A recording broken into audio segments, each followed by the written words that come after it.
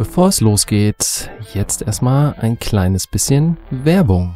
Parker hat gestern ein wirklich ernstes Gespräch mit mir geführt. Er möchte dieses Jahr unbedingt einen Adventskalender, hat er gesagt. Sowas krieg ich ja nicht mal. Weder von dir noch von meiner Verlobten. Bastelst du selbst, oder wie? Habe ich überlegt, aber nee, da habe ich was viel Besseres gesehen.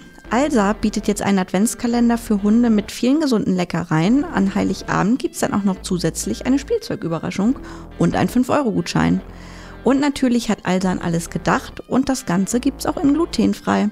Finde ich eine richtig gute Variante. Ähm, ja, also dieser Struggle äh, für den Hund, ähm, irgendwas zu finden zum Geburtstag, zu Weihnachten, das ist, klingt eigentlich immer ein bisschen kitschig, aber irgendwie macht man es dann doch gerne. Ich sag mir dann halt auch immer, eigentlich braucht man gar nicht so viel Spielzeug und so, ein bisschen, äh, so viel Klimbim und so, aber irgendwie ist es dann manchmal zu manchen Gegebenheiten auch ganz schön. Aber apropos äh, an alles gedacht, bei Alsa gibt es äh, natürlich neben dem Adventskalender ähm, noch tolle weitere Möglichkeiten zum Einkaufen. Die bieten über Hundefutter, ähm, was beispielsweise Nassfutter sein kann, Trockenfutter, getreidefreies Futter, wie Jenny auch schon gesagt hat, Kauartikel, auch Leckerlis an. Ähm, des Weiteren gibt es auch eine große Auswahl an verschiedenen Hundezubehör-Sortimenten, wie beispielsweise Hundebetten, Näpfe, auch Pflegeprodukte für Hunde, Spielzeug natürlich und auch alles Mögliche für unterwegs. Und Parker liebt die Leckerlis von Alsa. Das Oh ist nämlich ja. die, die er ständig bekommt und wir können sie nur weiterempfehlen, beziehungsweise Parker würde sie weiterempfehlen. Ja, kleiner Tipp an dieser Stelle, was Parker sehr gut gefällt, sind die äh, getrockneten Lungenwürfel. Also dafür würde er tatsächlich sterben wollen. Aber wenn ihr Bock auf diesen Adventskalender habt, der ein vieles vereinfacht, äh, dann könnt ihr mit dem Gutscheincode 10 als Zahl 10 Parker, P-A-R-K-E-R, E also 10 Parker, einen Rabatt von 10 Euro ab einem Mindestbestellwert von 20 Euro bekommen. Ähm, damit supportet ihr uns, wenn ihr dort mal vorbeischaut und natürlich auch ein äh, tolles Unternehmen wie Alsa Hundewelt, die es schon seit mittlerweile über 25 Jahre gibt. Also wenn ihr Bock habt, schaut mal rein, supportet uns, supportet Alsa und ähm, jetzt viel Spaß mit der Folge. Alles über einen Kamm. Der Rhodesian Ridgeback Podcast.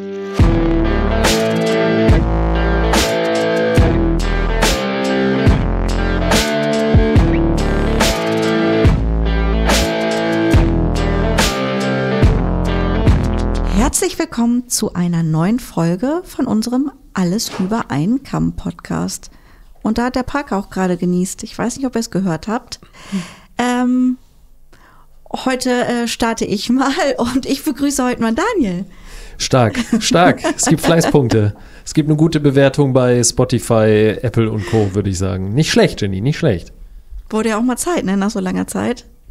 Ja, also irgendwann muss man dann auch mal die Schwimmflügel abwerfen, ne? Da muss man noch Richtig. mal seinen, seinen Freischwimmer machen und äh, dann wird man einfach klaps auf den Po und rein ins Nichtschwimmerbecken, ne? Habe ich ja, äh, habe ich bestanden. Ja, würde ich sagen. Sehr ist gut. okay. Aber ähm, viel schöner, als dass ich den Daniel begrüßen kann, ist, dass ich die liebe Kathi begrüßen kann. Hallo. Hallo. Und die Kathi ist von Richback in Not e.V. und wir hatten sie ja auch bereits schon mal zu Gast. Wir hatten sie schon mal zu Gast und das war, äh, wir haben vor der Aufnahme nochmal nachgeschaut, das war auf jeden Fall das letzte Mal, dass sie da war, war im Mai. Oder Ja, besser richtig. gesagt, die Episode wurde Anfang Mai ausgestrahlt. Und da ging es ähm, auch um zwei, äh, zwei Hunde, ähm, und zwar den Rocco und, warte mal, der oder die Leo? Der Leo. Der war auch Leo. ein Rüde, waren zwei Rüden. Genau, das waren zwei Rüden. Die wurden vorgestellt, da wollen wir natürlich gleich auch mal kurz nachfragen, was aus den beiden ähm, Dingen geworden ist. Und nach wie vor stehen Jenny und ich zu dieser kleinen Idee, äh, besser gesagt zu dieser kleinen Kooperation mit Richback äh, in Not e.V., so dass wir hier gerne mal Sendezeit zur Verfügung stellen und uns mal ein bisschen aufklären lassen über die Arbeit in dem Verein, was da so passiert ist und natürlich auch, um hier ein bisschen Speeddating zu machen.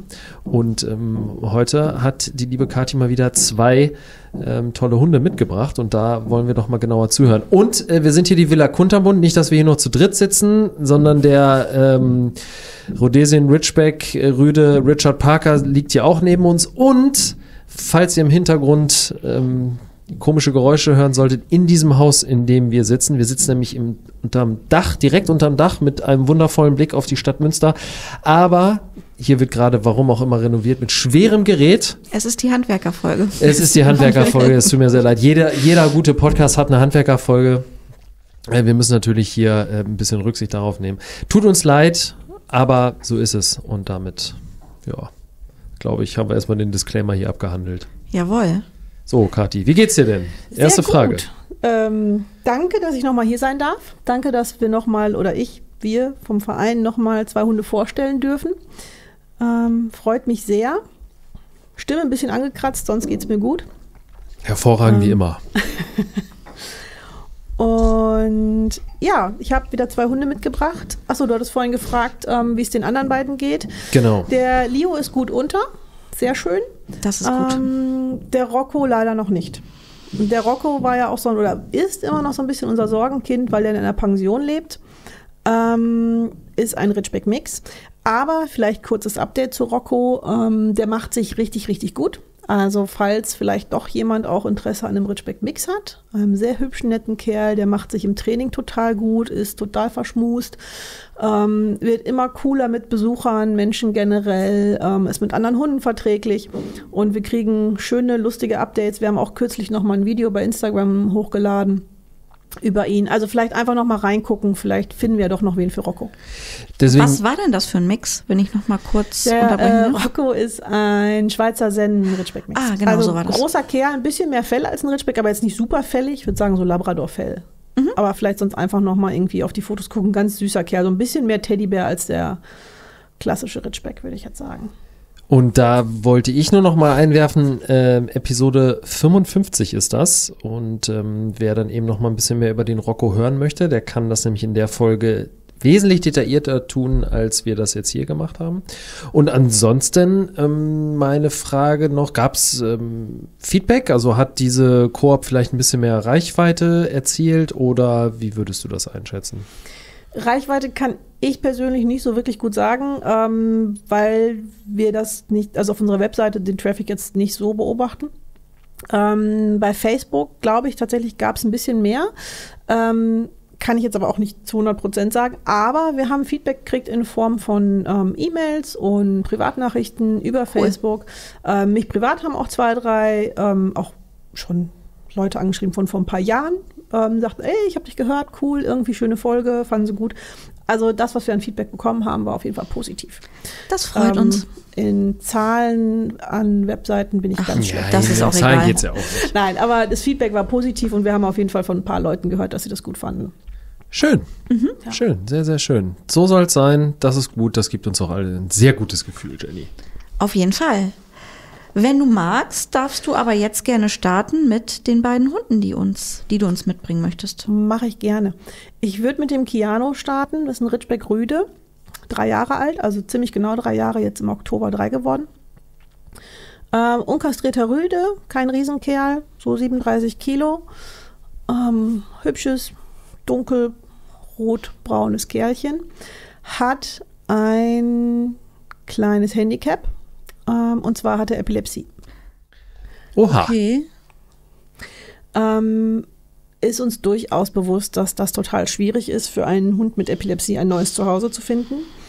Ähm, ist auch der Halterin bewusst, also den jetzigen Haltern. Ähm, er wird abgegeben, weil sie mit der Gesamtsituation überfordert sind und auch einfach das Gefühl haben, dass es das falsche Zuhause ist, weil er lebt jetzt in einem Zuhause mit zwei Kindern. Ähm, was super gut funktioniert. Also der hat überhaupt keine Probleme mit Kindern. Wir würden aber ein Zuhause suchen ohne Kinder. Jeder, der vielleicht schon mal ähm, Berührungspunkte mit Epilepsiehunden hatte, der weiß, dass Ruhe, geregelte Abläufe, ja, dass das einfach total wichtig ist. Wir kennen uns ja ein bisschen damit aus. Ja, Leider. Ja, total. Also da auf jeden Fall erstmal zur Einschätzung. Ähm, Das habe ich ja auch schon mehrfach erzählt, dass ich ja auch früher mit Dackeln aufgewachsen bin und einen Dackel, den gab es, der ähm, hatte auch Epilepsie und äh, das auch sehr früh bekommen. Ähm, auch glaube ich so mit ein, zwei, drei Jahren müsste ja es war bei ihm gewesen aus sein. mit einem Jahr ungefähr. Und ähm, der wurde dann auch eingestellt mit ähm, Medikamenten, mit Tabletten, die er auch zweimal am Tag bekommen ähm, musste, wie der Herr Parker auch.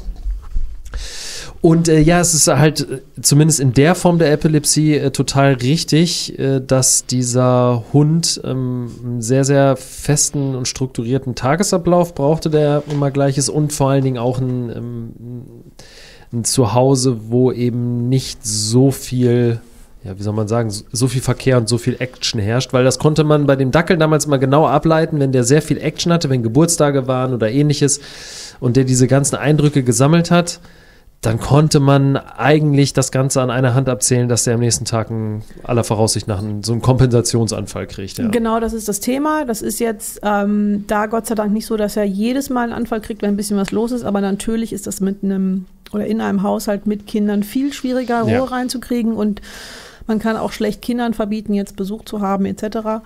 Nee, natürlich nicht. Ähm, und ja, Einstellung ist ein wichtiges Thema, hast du schon gesagt. Also auch beim Keanu, der ist schon eingestellt. Die Einstellung ist sicherlich noch nicht am Ende. Ähm, mhm. er hat, also er bekommt Medikamente, auch täglich, die müsste er auch weiter bekommen. Mhm. Ähm, da würden wir natürlich auch, wie bei allen Hunden, die irgendwelche Themen haben, weiter begleiten, unterstützen und helfen. In jeglicher Form, da kann man über alles sprechen. Ähm, aber trotzdem hat er derzeit ungefähr alle zwei Wochen einen Anfall. Ähm, das sind nicht immer generalisierte Anfälle. Das sind manchmal auch fokale Anfälle, also für die, die es vielleicht nicht kennen, also dass der Hund so ein bisschen wie, wie tranced oder einfach nur steht und in die Ecke starrt. Das kann auch mal sein. Das ist natürlich viel leichter, ähm, damit umzugehen und auch den Hund da wieder rauszuholen. Ähm, er kommt aus den Anfällen derzeit immer ohne Notfallmedikation wieder raus. Ist für das die, die vielleicht gut. Erfahrung mit mhm. Epilepsie haben, auch wichtig, weil das ist natürlich nochmal eine schwierigere Nummer, ganz klar zu sagen. Ähm, aber er braucht halt jemanden oder Menschen, einen Menschen, mehrere Menschen. Ich würde da sogar empfehlen, sogar mindestens zwei Menschen, weil das kann schwierig werden, sich um so einen Hund zu kümmern. Ähm, oder jemand oder einen Menschen mit einem guten Backup, ne? also mit einem, ja. mit einem guten ja. Umfeld, die auch bereit sind zu helfen und da mal zu unterstützen, ähm, die damit klarkommen und die wissen, was das bedeutet, einen Hund mit Epilepsie zu halten weil der restliche Alltag ist eigentlich relativ normal. Also das ist ein sonst fitter, klingt jetzt komisch, aber er ist sonst fit. Das ist ein fitter, ähm, gut gelaunter, wirklich fröhlicher, freundlicher, dreijähriger Ritschbeckrüde der noch viel mhm. lernen muss. Der hat die eine oder andere kleine Baustelle im Training. Ähm, aber der will spazieren gehen, der will lernen, der will toben, der will rennen, der will spielen, der will laufen. Also ansonsten alles wie jeder Hund auch. Ja, also dazu kann ich auf jeden Fall nochmal sagen, dass ich's pers ich persönlich es zumindest wesentlich anstrengender empfunden habe, die Zeit, wo man nicht wusste, was es genau ist. Also als das das erste Mal mhm. passiert ist, das war morgens um drei, mitten in der Nacht und äh, mir fällt ein fast 50 Kilo schwerer Ridgeback aus dem Bett und ähm, zappelt und sabbert und es schlägt um sich. Das war schon sehr, sehr unschön. Also es ist nicht schön, das zu sehen. Aber jetzt, nachdem er eingestellt ist, nachdem man so ein bisschen Diagnostik gemacht hat, ähm, ist das Leben auf jeden Fall entspannt damit. Also man muss trotzdem ja damit rechnen, es kann wieder passieren, aber ja wenn man weiß, man hat einen Hund, der den Hang hat zur Epilepsie und man hat so ein paar Vorbereitungen wenn es nur das Handtuch ist, Handtuch ist, das schon parat liegt, ähm, wenn es natürlich die Medikamente sind, wenn es die Notfallmedikamente sind, dann ist man auf jeden Fall sehr gut präpariert, um trotzdem ein gutes, äh, langes Leben ähm, und halt auch aktives Leben mit einem epileptischen Hund zu haben. Also so war es zumindest beim Dackel auch. Der Dackel ist 16 Jahre alt geworden und ja. in den Arm meiner Mutter gestorben. Also ein besseres Leben konnte man sich jetzt auch in Anführungszeichen nicht vorstellen, ne? minus der Epilepsie natürlich. Nein, das denke ich auch. Und ich denke auch, gerade was du sagst, ähm, ein aktives und relativ normales Leben, wenn man mit der Epilepsie klarkommt und sich daran gewöhnt hat, wie blöd das auch klingt, ähm, und weiß, was da kommt und dass es kommen kann, dann lebt man auch wieder etwas normaler damit. Mhm. Dann, dann kehrt so eine Normalität ein und natürlich trifft man Vorkehrungen. Der Keanu kann zum Beispiel gut alleine bleiben, auch stundenweise. Natürlich müsste er das in einem neuen Zuhause wieder lernen, so wie alle Nothunde, ja. wenn sie umziehen. Ja.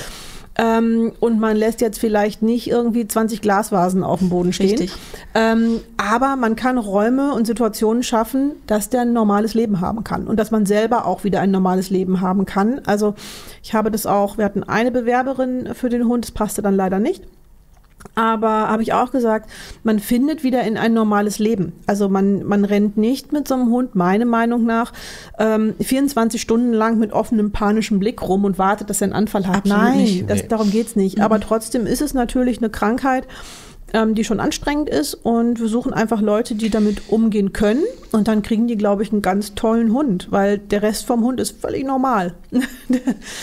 ist einfach so. Ich glaube, was, also wenn ich jetzt an einem Hund Interesse hätte, der Epilepsie hat und wenn ich mich nicht mit der Krankheit auskennen würde, ich glaube, ich würde mir vorher ein Video angucken, um einfach zu sehen, was auf mich zukommt, weil ich weiß es ja von Parker, das ist, also man sollte das vorher mal gesehen haben und Definitiv. dann nicht, dass der Hund dann, ähm, der Keanu einen Anfall bekommt und mich entsetzt es so und mich verstört es so, dass ich sage, okay, das kann ich definitiv nicht und dann muss Keanu doch wieder zurück. Ich glaube, da ist man gut beraten, wenn man weiß, was auf einen zukommt. Das ist super, dass du das sagst. Das empfehlen wir tatsächlich auch Bewerbern. Also es ist nicht der erste Hund mit Epilepsie, den wir vermitteln. Und wir empfehlen es Bewerbern, die noch keinen Epilepsiehund hatten. Sich so blöd das klingt, kann ich auch jetzt hier nur so empfehlen, wie du es gesagt hast, sich einfach mal Videos anzuschauen von äh, auch Grand Mal-Anfällen, von generalisierten Anfällen. Unter den Themen findet man bei YouTube einiges. Und wenn man sagt, okay, das, das kann ich stehen, das, das kann ich haben, das ist nicht schön, aber wenn man das kann, ähm, sind das halt auch eben nur kurze Episoden in einem sonst langen Leben. Total. Also das ist, äh, also wenn man einen Hund hat ähm, und der bekommt Epilepsie oder den ersten Anfall oder so, ist es, habe ich es an meinen Eltern gesehen, die damals ja auch überfordert waren mit der Situation und auch gedacht haben, oh mein Gott, was ist das denn jetzt? Ähm, aber man kann ihn trotzdem auch mit einem guten, guten Tierarzt, guter Tierärztin, ähm, einer vernünftigen Einstellung, einer normalen, regelmäßigen Überwachung des, des Tiers einfach ein gutes Leben ermöglichen. Und ich weiß noch, wie anstrengend die Tage waren, als Parker dann so diese Clusteranfälle gehabt hat, morgens, mittags, abends, wo wir dann abends auch gar nicht zu Hause waren, kommen nach Hause und der Hund völlig aufgelöst und die, das halbe Wohnzimmer war ähm, verunstaltet und vollgepinkelt und was weiß ich was. Sehr uncool. Äh, aber man wächst mit seinen Aufgaben und danach, toi toi toi, ist es bisher nicht passiert und mittlerweile ist es jetzt auch nicht so, dass meine Partnerin und ich darüber nachdenken, können wir diesen Hund alleine lassen. So, der bleibt am Tag mehrere Stunden mal alleine, weil man raus muss, weil man dies erledigen muss, das Ja. erledigen muss. Und da geht man auch ohne Angst. Also ich möchte keine Werbung machen dafür, dass sich jetzt alle, dass alle Menschen jetzt einen epileptischen Hund zu Hause haben sollen. Das ist nicht für jeden was, definitiv nicht. Aber Menschen, die es entweder kennen, die Erfahrungswerte damit haben, die sich das zutrauen, die vielleicht selber interessiert sind, so ein bisschen an tiermedizinischen Dingen und sich damit auseinandersetzen, kann ich auf jeden Fall sagen, ey, ähm, das ist ein Tier, dem kann man ein sehr, sehr gutes Leben schenken und auch ein sehr, sehr gutes Leben mit ihm führen. Ja, und man kann ja auch eben das Glück haben, wie wir bei Parker, dass der Hund irgendwann so gut eingestellt ist, irgendwie, dass Anfälle kaum noch oder sogar gar nicht auftreten. Parker hatte jetzt, wie gesagt, ein halbes Jahr gar keinen Anfall mehr. das ist und echt super. Ja. ja, vielleicht hat Keanu auch das Glück, dass wenn er richtig eingestellt ist, Exakt. dass es, Total. einfach Genau, so das kann wird. sein, das wissen wir nicht. Die sind, ähm, also diese erste Arbeit, über die du gerade gesprochen hast, Daniel, ist halt auch schon getan. Also die sind auch in Kontakt mit der LMU. Also diese ganzen, der ist ja eingestellt, da gibt es Tierärzte und wie gesagt, da begleiten wir auch weiterhin. Ähm, ich denke wirklich, da muss man einfach gucken, wenn man da Interesse dran hat, auch einfach gerne anrufen und mir tausend Fragen stellen. Also ist überhaupt kein Problem. Ich informiere da gerne. Ähm, auch die Besitzerin ist da gerne bereit, drüber zu sprechen. Ähm, ist alles ganz offen und transparent und dann guckt man einfach, ob das was sein könnte. Ähm, vielleicht noch ganz kurz so generell zu Keanu. Ich habe es ja gerade schon gesagt, eigentlich typischer, typischer dreijähriger Ridgeback. Ähm, er ist im Moment noch sehr aufgeregt bei Hundebegegnungen an der Leine. Ja, okay. Ist Normal. jetzt auch nicht so ungewöhnlich. Nö, absolut Nee. nicht. Ist, aber, zu- ist aber zu handeln und umzulenken, Ja. aber da muss definitiv noch dran gearbeitet werden. Ähm, was ein bisschen zu kurz gekommen ist in seinem Training, ist der Freilauf. Ähm, tatsächlich aus Angst heraus. Ähm, eben, wo wir gerade drüber gesprochen haben, man kommt irgendwann in so ein Normalverhalten wieder rein und die sind einfach so ein bisschen wie paralysiert in der Angst und wollen nicht, dass der Hund zu viel macht, dass was passiert. Deswegen ist Freilauf einfach zu kurz gekommen. Ähm, das müsste eben auch mit ihm wieder erarbeitet werden, weil auch ein Hund mit Epilepsie, du hast es vorhin schon gesagt, ihr habt es beide gesagt, kann natürlich ganz Klar. normal freilaufen, kann Freunde haben, kann toben rennen. Das muss mit ihm wieder aufgearbeitet werden. Ähm, was er gut kann und kennt, sind eben Menschen. Besucher, cool, überhaupt kein Problem. Ähm, man kann reinkommen, man kann ihn streicheln, er ist freudig. Also das ist auch kein Riesenstressor für ihn. Was ja auch mal ganz schön ist, einen Ridgeback zu haben, der damit kein Thema hat. Und ähm, genau. Aber Hundebegegnungen und Freilauf, das muss einfach noch trainiert werden. Ja. Ja, das würde ich sagen, sind ganz herkömmliche Herausforderungen, nicht mal Probleme, die man grundsätzlich immer hat. Denke ich wenn auch. mir und man darf mit ihm arbeiten. Er will das. das deswegen, Ja. Ich brauche einfach Leute, die da Bock drauf haben und vielleicht noch ein bisschen mehr Bock auf eben bisschen extra Portion. Ja. Aber gut. Wie ich immer sage, wenn man sich für ein Tier, für einen Hund entscheidet, sollte es das größte Hobby sein. Und äh, irgendwann erntet man dann halt auch mal die, ähm, die Früchte für die lange Arbeit. Und das heißt, man muss sein äh, Tier irgendwie entweder gar nicht mehr anleihen oder nur noch dann, wenn es laut Gesetz sein muss. Ähm, und das traue ich dann dem Keanu auch zu, dass äh, wenn man sich mit Ja, ihm beschäftigt, dann Ja. wird das schon werden. Also da sehe ich eigentlich bei äh, Tieren grundsätzlich immer sehr, sehr positiv. Die Ja, und selbst wenn er mal an alleine laufen muss, das ist ja alles überhaupt kein Problem. Ja, klar. Aber das sehe ich auch absolut nicht als ähm, Riesenbaustelle. Also unsere Einschätzung, also wir schicken ja mal Leute hin, die wir kennen, die die Hunde einschätzen, wenn wir nicht selber nah genug dran sind und sagt auch ganz klar, toller, noch junger Hund. Also mit dem kann man arbeiten. Klingt nach einem Hund für mich. Aber naja, Herr Parker. Herr Parker möchte Einzelkind bleiben. Ja, ich ja, glaube. Ich, also davon, das schätze Sei ich ihm zumindest gegönnt. Ja. ja, ja, sei es ihm gegönnt, das stimmt. Aber sonst ist er, mh, ist er gut drauf. Und ähm, wie ist das jetzt gerade? Er ist noch bei der Familie? Der ist noch in der Familie. Der, ist wird auch in der Familie bleiben, bis, also das Okay. ist nicht so, dass die sagen, oh Gott, wir können das gar nicht, der muss hier weg, aber die sagen ganz klar, ja, vielleicht wäre es für alle Beteiligten, ganz besonders den Hund, entspannter, Ja. woanders zu leben. Nein, nein, der wird auch in der Familie bleiben, bis sich ein Zuhause das ist ja auch erstmal ein gutes Zeichen. Das jeden zeigt ja Fall. schon mal, dass der Hund ein gutes Wesen hat. Und ähm, Ja, und auch die Leute. Also der wird Ja. geliebt, der ist gut gepflegt. Also wir haben tolle Fotos auf der Seite von ihm. Einfach Mhm. mal drauf gucken und im Zweifel melden und Fragen stellen. Genau, das äh, habt ihr gehört. Ich äh, verlinke den, ähm, den guten Keanu natürlich auch direkt äh, in unserer Folgenbeschreibung. Da braucht ihr nur mal schauen, dann könnt ihr da direkt draufklicken und werdet direkt auf die Seite geleitet. Okay, das war der Keanu. Wen hast du denn sonst noch am Start? Ich habe noch einen Pepe. Pepe. Pepe. Pepe. Klingt wie ein Fußballer. Ähm, auch drei Jahre alt. Ähm, Im Au- August, Juli drei geworden. Ähm, kastriert. Okay. Ein heller Ridgeback. Auch mal ganz schön. Habt ja auch viele Liebhaber. Ähm, bisschen größer. Hat so um die 40 Kilo. Ähm, Alles Leichtgewichte gegen Herrn Parker. ja gut, mit, darf mit ich fragen, drei. was der Herr Parker wiegt? Jetzt. Er hat abgespeckt. Er wiegt jetzt nur noch 45,5. Guck. fast 50. Er war viel zu schwer. Ja, war schon ein Ja. bisschen speckig, ja. Ja, tut dann immer auch im Alter ganz gut, ne? Das ist richtig. schmaler. Ja, nee, ist, das stimmt schon. Aber jetzt wieder zu Ja. Pepe. Nee, äh, Pepe, ähm, ja, Ritschbeck Rüde auch. Und ähm, der wird abgegeben, weil er aufgrund von persönlichen Gründen nicht mehr ausreichend ausgelastet werden kann. Und sucht einfach dementsprechend neues Zuhause, wo das wieder möglich ist. Also ein Also ist ein- aktives, Genau, aktives Kerlchen. aktives Kirchen, ja, aber normal, dreijähriger Ritschbeck auch da wieder, ne? Also von der Aktivität her, wer sich einen dreijährigen Ritschbeck äh, sucht oder sich einen Ritschbeck sucht, der wird, denke ich, oder hoffe ich wissen, dass man äh, vielleicht auch ein bisschen an der frischen Luft die Zeit verbringt mit dem Hund. Ja. Ähm, ja, ähm, er hat sich jetzt halt gezeigt, dadurch, dass so wenig mit ihm gemacht werden kann, aufgrund der persönlichen Probleme, dass er ähm, auch schon mal geschnappt hat, wenn Bewegungsreize sehr schnell nahe kommen. Ähm, das ist definitiv ein Thema, an dem bearbeitet werden muss. Also da muss auch noch ein bisschen trainiert werden, ist aber kein hochaggressiver, gefährlicher Hund. Also auch wieder ein Ridgeback im besten Alter, der Training braucht und ein bisschen Verständnis. Ähm, hat auch grundsätzlich einen guten Grundgehorsam darf auch frei laufen, kann auch frei laufen, ist also auch abrufbar. Natürlich da wieder auch nicht in jeder Situation. Wir können hier nicht sagen, Natürlich nicht. ihr holt euch hier jetzt einen Hund und der läuft überall frei. Nein, aber er ist grundsätzlich abrufbar. Ähm, ist auch mit anderen Hunden soweit verträglich, auch mit anderen Rüden ist da eher deeskalierend unterwegs und eigentlich eher ein nettes Kerlchen. Mag er. Kinder? Oder weiß? Aufgrund der Thematik, dass er jetzt eben schon mal geschnappt hat, sagen wir immer ganz klar, "Mm, lieber nicht zu Kindern. Okay. Weil auch wenn es jetzt um Bewegungsreize ging und er quasi nach vorne gesprungen ist und geschnappt hat oder vielleicht mal sagt, oh, ich muss hier weg und schnappt, das ist halt immer mit Kindern im Haushalt, die daneben stehen an der Leine, sagen wir, da sind wir relativ streng wahrscheinlich. Puh, will man das unbedingt haben, wenn man Kinder unter 1,40 neben sich rumlaufen hat und einfach ein sehr großer Hund. Wenn er dann schnappt, ist man einfach auf Nee, hast du recht, stimmt, habe ich so nicht drüber nachgedacht. Ja, nur das ist tatsächlich so der Grund. Ähm, der hat jetzt kein ähm, spezielles Problem mit Kindern. Also es ist jetzt nichts bekannt. Es ist jetzt nicht so, dass er ein Kind gebissen hat oder sowas.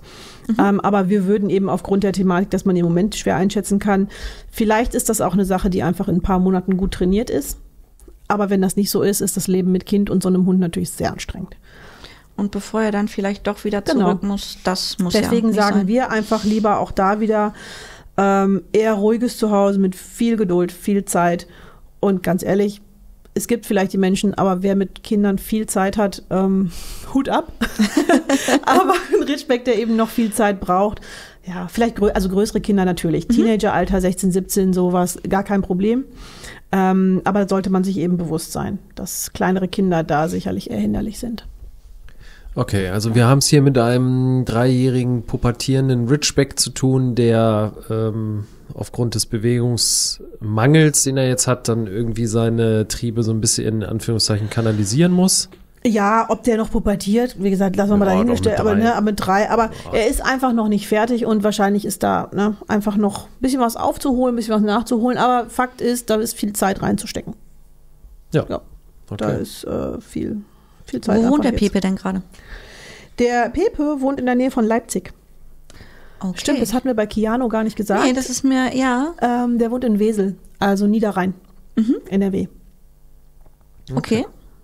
Und man würde, wenn man sich jetzt interessiert, Mhm. würde man mit euch zusammen nach Leipzig beziehungsweise Wesel fahren.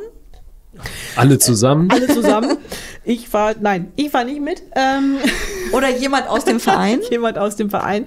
Ähm, in der Regel läuft es so ab, dass wenn sich jemand bewirbt, den Hund kennen wir ja schon, den hat sich ja jemand vom Verein angeschaut, dass wir uns die Leute, die sich bewerben, anschauen. Wenn da auch alles gut aussieht und passt, würden wir den Kontakt zwischen Halter oder Pflegestelle, jetzt sind beide Hunde noch bei ihren Haltern, also beide noch in ihrem Zuhause, also zwischen ähm, Halter und Bewerber herstellen und die würden ein erstes Treffen selber abstimmen. Es gibt immer wieder den Fall, dass da Fragen sind oder dass entweder der Halter, also der Abgebende oder der Bewerber den Wunsch hat, dass jemand vom Verein dazukommt, dann machen wir das natürlich. Okay. Aber wir fahren nicht quer durch Deutschland, sondern auch da ähm, würde jemand, wir haben eigentlich wirklich deutschlandweit Leute, die uns unterstützen und dann kommt jemand dazu. Beim Kiano, der ist jetzt in Wesel, das ist für mich so eine Stunde Fahrt, da würde ich wahrscheinlich sogar mit hinfahren, ja. Ähm, aber nach Leipzig, Ist ein bisschen das weit. sprengt so ein bisschen meinen zeitlichen Rahmen. Muss ich sagen. Den vermittle ich aber auch gar nicht, den vermittelt eine Kollegin. Okay. Ähm, den Pepe. Ähm, ja, vielleicht ganz kurz noch zum Pepe. Ähm, kann auch zeitweise alleine bleiben. Muss man natürlich auch wieder lernen. Was der auch kennt, ist auch vielleicht nicht so uninteressant. Der kennt es im äh, Wohnmobil oder Wohnwagen mitzufahren. Und Das ist schon da spannend, auch zur Ruhe zu kommen und kennt also auch so ein bisschen dieses Campinggeschehen und kommt damit auch gut klar. So was für dich, Jenny. Ja, schon. Ja. Wenn mein Mann äh, keine Hundeallergie hätte, dann Oh, hätten wir auch einen Ridgeback. Dann Tja. kriegt der Ridgeback vielleicht einen eigenen Wohnwagen. ähm, ja, aber das ist ja vielleicht für einige Leute, es gibt ja doch einige Leute, die auch mit Hund oder mit Ridgeback Camping machen. Ähm, das kennt er auf jeden Fall schon. Ähm, der hatte einen Rückbiss als Welpe, das ist aber vom Fachtierarzt behandelt worden, also auch kein Thema mehr. Ähm, wer dazu Fragen hat, auch gerne einfach melden. Und äh, ja, das war's eigentlich schon so zu ihm. Ja. So ganz viel gibt's da gar nicht. Sei denn, ihr habt noch Fragen. Ich bin Rückfragen. gerade am überlegen. Es hört sich eigentlich nach zwei super Hunden an. Ich glaube, das sind zwei super Hunde. Ist halt auch ein tolles Alter, kann ich persönlich auch sagen. Also dreijährige Hunde ähm, sind zwar noch nicht völlig fertig, aber ähm, bringen ja schon echt viel mit. Und Ja. die haben jetzt beide nicht wahnsinnig viel Ballast. Also ja, da muss dran gearbeitet werden, ja, da muss was gemacht werden. Aber das ist jetzt nicht so, dass die drei Jahre schlecht gelebt hätten oder so. Also wir sprechen hier nicht über drei, äh, dreijährige Hunde, die drei Jahre lang an der Kette gelebt haben oder geschlagen worden sind oder nur Schlechtes erlebt haben. Also muss man sich, glaube ich, auch einfach mal bewusst machen, dass auch wenn da noch Arbeit drin steckt, wir sprechen hier nicht über schwer traumatisierte Hunde oder sowas. Und das ist ja vielleicht auch mal ganz cool, dass man sagen kann, ja, ein dreijähriger Hund braucht noch Arbeit, aber Basis Jeder dreijährige. Hund braucht ja noch ein bisschen Arbeit. Genau, und aber es ist halt eben eine Basis da. Also beide haben guten Grundgehorsam. Schön. Ne? So. Und besonders dann brauchen sie halt einfach auch noch Arbeit, wenn sie eh in ein neues Zuhause kommen, Ja. neues Umfeld, Definitiv. neue Abläufe, neue Prozesse, neue Gerüche, keine Ahnung, alles ist neu. Dann ist das sowieso Neue Menschen noch mal, vor allen Dingen. Ja, ja. Ja, und der neues klar. Haus, alles ist anders. Ja. Ne? Du hast ja gerade gesagt, dann bewirbt sich jemand, ähm, der kann ja auch aus München kommen und nach Leipzig fahren. Oder also die Umgebung ist anders, die Freunde im Zweifel sind anders, Ja. die Straßen sind anders. Ähm, das macht ja schon was mit einem Hund, aber manchmal ist es auch echt so ein kleiner Reset. Und ähm, wir haben das auch schon erlebt, dass, ich will jetzt nicht schönreden, aber wir haben das auch schon gehabt, dass Problematiken im neuen Zuhause in der Form gar nicht mehr aufgetreten sind. Nicht, weil die neuen Besitzer so unfassbar viel besser waren. Also natürlich haben wir nur tolle neue Halter. An dieser Stelle mal einen lieben Gruß. Ähm, aber auch manchmal, weil es wirklich so ein Reset ist. Ne? Also weil die alten Muster aufgebrochen werden, kennt man ja auch von sich selber, weil man eben einen Neustart macht. Ne? Also das kann eben auch ja, echt ja, gut sein. weil die Halter, Halterinnen, je nachdem, wo der Hund war, dann natürlich auch irgendwie immer, also sie haben ja einen Grund dafür, ohne den zu beurteilen, warum sie das Tier Mhm. abgeben müssen und sind dadurch natürlich auch gestresst, angespannt. Das merkt der Hund.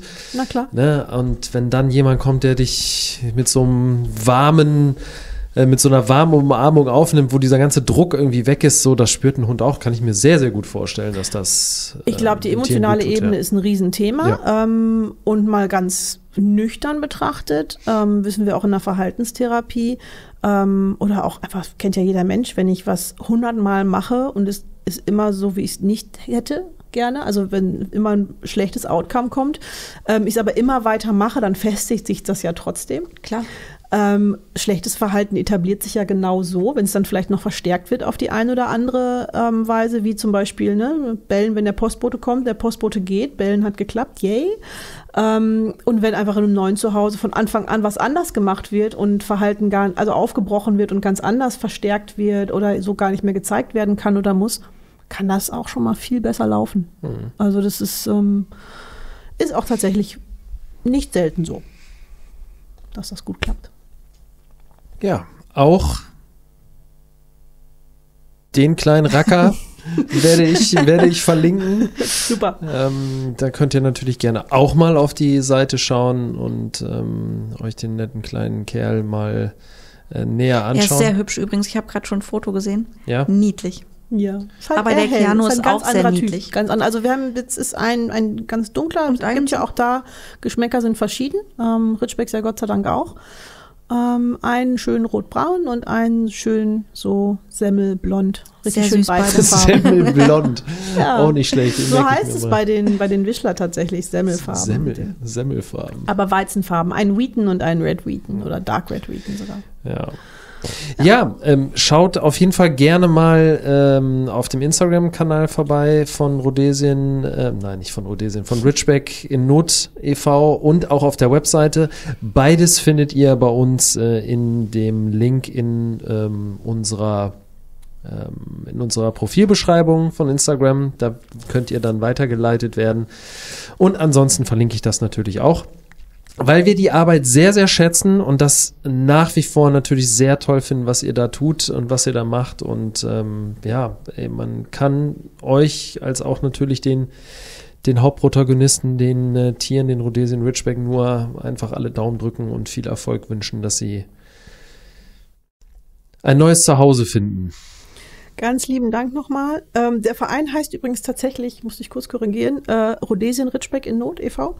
Ähm, aber die Webseite heißt Ritschbeck in Not. Okay, Und, da äh, kann ich da nichts für. Das ist dann euer, für, nur ich dachte, ich sag's jetzt einfach nochmal eben, bevor du nachher irgendwas Ja. rein. dieses ganze. Kauderwelsch da. Genau, es ist auch total egal. Ritschbeck in Not weiß jeder Bescheid und Ja. ähm, auch unter genau dem Ritschbeck in Not sind wir bekannt. Äh, alles gut, nur ganz offiziell der Verein heißt Rhodesian Ritschbeck in Not, deswegen RR in Not e.V. Ähm, danke, Sehr gut. danke. Ähm, Danke, Immer dass du gerne. da warst. Ja, Sehr danke, gerne. dass du da warst. Dann gehen wir jetzt alle raus in die Sonne, genießen das gute Wetter. Yippie. Herr Parker guckt auch schon so, als wenn er das gerne möchte. So sieht's aus. Ich glaube, das ist auch gerade so der Blick. Lass uns doch jetzt gerne mal spazieren gehen. So, das war Herr Parker, der jetzt auch Tschüss sagt. Bis die Tage, macht es gut, viel Spaß beim Hören und bei eurem Wochenendspaziergang. Bis dann. Tschüss.